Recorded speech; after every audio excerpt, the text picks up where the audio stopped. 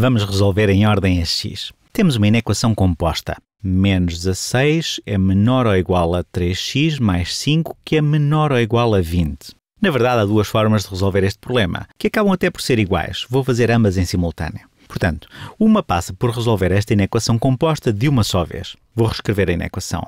Menos 16 é menor ou igual a 3x mais 5, que é menor ou igual a 20. Outra forma passa por pensar nesta inequação como duas inequações separadas, mas que precisam de ser ambas verificadas.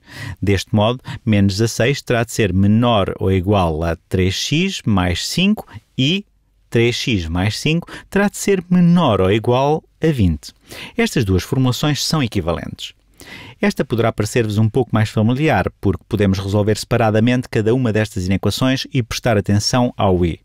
A outra pode parecer menos tradicional, porque tem três partes. Há três partes nesta inequação composta, mas vamos resolvê-las exatamente da mesma forma. Em qualquer uma destas situações, queremos isolar o x num dos lados da inequação, neste caso, numa parte da inequação composta. A melhor forma de o fazer aqui é isolar este x e eliminar o 5. Portanto, subtraímos 5 a qualquer parte desta inequação composta. Aqui, aqui e aqui.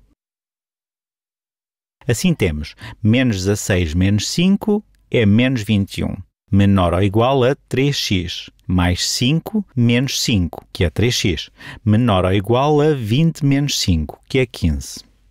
Podemos fazer o mesmo aqui. Se queremos isolar o 3x, temos de subtrair 5 a ambos os lados. Assim, menos 16 menos 5 é menos 21, menor ou igual a 3x.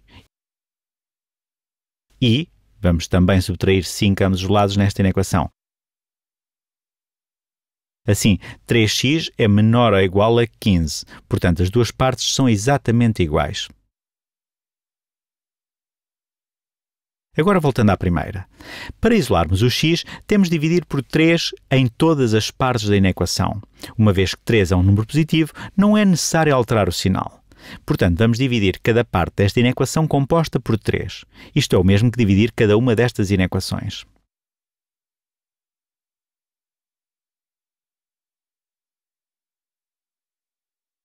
Menos 21 a dividir por 3 é menos 7. Menor ou igual a x, menor ou igual a 5. Deste lado temos menos 7 é menor ou igual a x e x é menor ou igual a 5. Esta e esta são completamente iguais. E resolvemos em ordem x. Esta é a solução.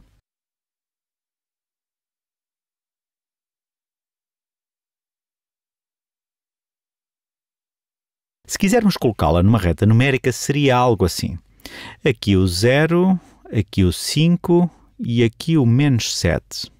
O nosso conjunto de soluções inclui tudo entre menos 7 e 5, sem esquecer de incluir estes números. Assim, colocamos um círculo cheio em menos 7 e 5 e selecionamos tudo entre eles.